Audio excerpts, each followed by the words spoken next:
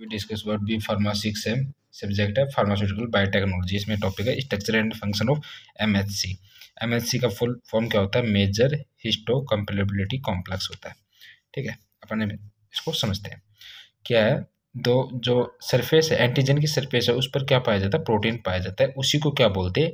M H सी बोलते हैं। जैसे एंटीजन है और इसकी सरफेस पर क्या प्रोटीन पाया जाता है, इसे एम एच सी बोलते हैं। ये प्रोटीन क्या करता है? आइडेंटिफाई करता है। सेल्फ या नॉन बॉडी जो एंटीजन है, उसकी आइडेंटिफाई करता है। ठीक है? इसके बाद में क्या है? M S C is the play more important work identify antigen between self and non self body क्या है? क्या करता है? एम एस सी है, जो क्या है?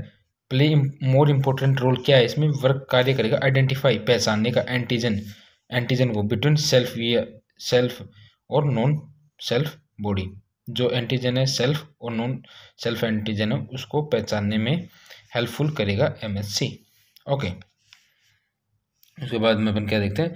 हिस्टो कंप्लेबिलिटी है are drive from two word से। हिस्टो का मीन्स होता है टिश्यू और कंप्लेबिलिटी का मीन्स होता है लिविंग टूगेदर ठीक है? इसमें क्या है? एमएससी मोलिक्यूल है आइडेंटिफाई होता है बाई किसके द्वारा? ओनली टी सेल के द्वारा आइडेंटिफाई होता है इसमें टी सेल में कौन सी सेल होती हैं?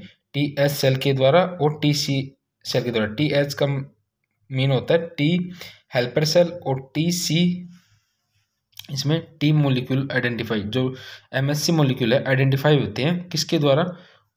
बाई ओनली टी सेल के द्वारा। टी सेल में कितने? दो सेल वैसे चार सेल होती है इसमें।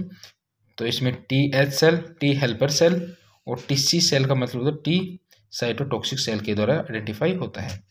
क्या M S C molecule T cell के द्वारा आइडेंटिफाई होता है।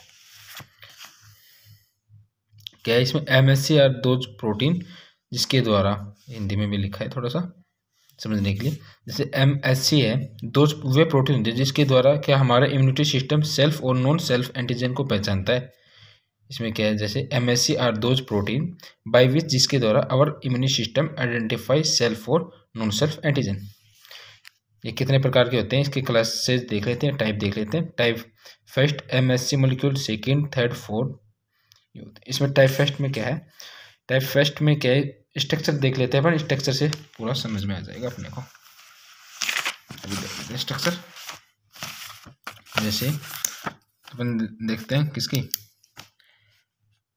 Type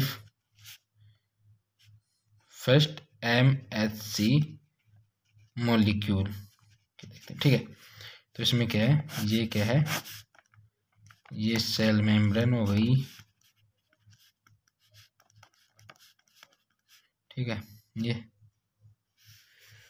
ये सेल मेम्ब्रेन हो गई। ओके। ये सेल मेम्ब्रेन हो गई। इसके बाद में क्या है? ये ग्रुप हो गई। और ये यहाँ पर इसमें ऐसे ऐसे ऐसे ऐसे एमिनो एसिड है। ठीक है। ये एमिनो एसिड हो गया क्या? है सेल ये ग्रुप है। इसके अंदर जो ऐसे है, ये एमिनो एसिड है। ये एमिनो एसिड हो गई। ठीक है। और इसमें क्या, इसमें एम एस सी मोलिक्यूल में क्या होते हैं? दो अल्फ़ा तीन अल्फ़ा होते हैं। Alpha one alpha two alpha three और इसमें एक क्या होता है? बिट्टा होता है ठीक है? ये क्या होता है? बीटा होता है। और जो नीचे वाले ग्रुप है, इसको अपन क्या बोलते हैं? इसे बोलते हैं मेम्ब्रेन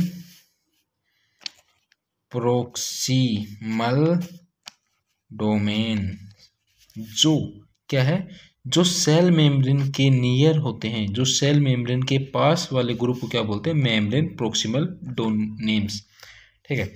और जो दूर होते हैं, जो सेल मेम्ब्रेन से ग्रुप दूर स्थित होते हैं, उसे क्या बोलते हैं अपन? Membrane membrane distal done domain ठीक है? इसमें बोलते हैं। अब इसकी थोड़ी देखते हैं अपन। जैसे इसमें जो स्ट्रक्चर बताया, वही बताया गया है इसमें भी। जैसे alpha one alpha two alpha three and bind attach by the disulphide bond के द्वारा बाइंड होते हैं, ठीक है?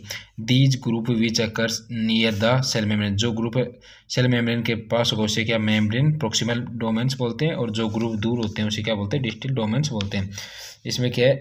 एम जो फ़र्स्ट है class first M S C molecule bind with T cell के साथ होते हैं। Type second M S M S C molecule में क्या है? एक, इसमें एक डिफरेंस है मेन क्या है इसमें इसमें क्या है? Beta beta one beta two होगा। उसमें क्या था? Alpha one alpha two alpha three और बीटा वन था। इसमें बीटा वन बीटा टू और अल्फ़ा वन अल्फ़ा टू ये किससे बनने होते हैं? पेप्टाइड बॉन्ड से बनते होते हैं इसमें क्या है? इसमें टेल है, दो हैं सेल मेम्ब्रेन में। इसमें भी यही बताया गया है जो स्ट्रक्चर में है। जैसे alpha one alpha two attach by the covalent bond के द्वारा सॉरी कोवलेंट बॉन्ड के द्वारा जुड़े होंगे। इसमें अल्फ़ा वन अल्फ़ा वन और beta one second M M S C present on the surface of antigen antigen के सरफेस पर यह उपस्थित होता है। क्या एम एस सी किस पर होता है? एंटीजन के किस पर होता है? एंटीजन है। जैसे ये एंटीजन है, जैसे ये कोई एंटीजन है, इसकी सरफेस पर जैसे ये है, ये एम एस सी है, ये प्रजेंट होगा। ठीक है।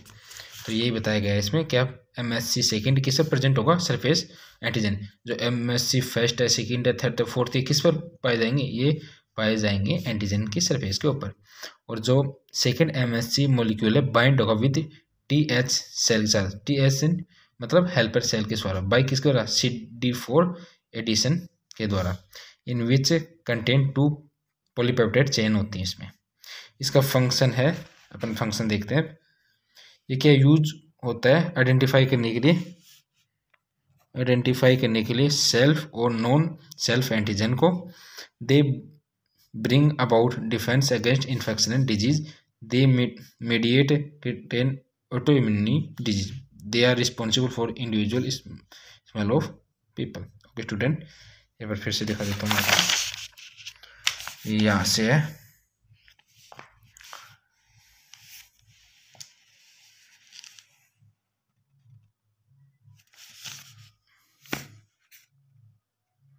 हिंदी में भी है थोड़ा। इसमें ओनली क्या है, इसमें क्लासेज में अपने कोई स्ट्रक्चर स्ट्रक्चर देखना है। स्ट्रक्चर को लिखना है और कुछ नहीं, इसमें स्ट्रक्चर के बारे में लिखना है बस। जैसे इसमें क्या है मेमोरी अप्रोक्सीमेट डोमेन होता है, इसमें ये होता है। तो स्ट्रक्चर के बारे में लिखना है। ये सभी स्ट्रक्चर के बारे में है। Alpha one, alpha two at disulphide bond के द्वारा होता है। इसमें जो नियर पाया जाता है, उसे में नियर नहीं होता, डिस्टिल में डोमेन बोलते हैं। इसमें टाइप सेकेंड में क्या है? इसमें बीटा वन, बीटा टू होता है, अल्फ़ा वन, अल्फ़ा टू होता है। कोवलेंट बॉन्ड के द्वारा ये जुड़े होते हैं। ओके स्टूडेंट और इसके कुछ function thank you I hope you are understanding